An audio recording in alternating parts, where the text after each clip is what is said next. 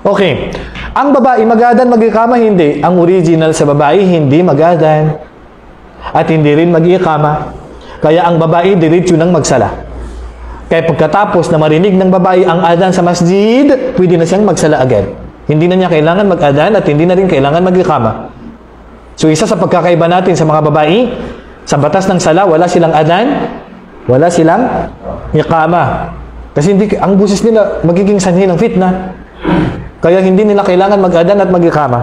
Okay, paano kung puro babae sila lahat? Ustad, pwede ba sila mag-adan? Hindi pa rin pwede. Kasi hindi yung ginawa sa panahon ng propeta sallallahu alaihi wasallam. Pangalawa, pwede bang mag-ikama? Nagkaroon ng opinion ng mga ulama. May nagsabi pwedeng mag-ikama ang babae. May nagsabi sa mga ulama na pwede siyang mag-ikama. Pero ang iwasan nito, mas mainam. Bakit? Kasi wala namang dalil na matibay na ang mga babae ay nag-aadan at nag-iikama. Okay.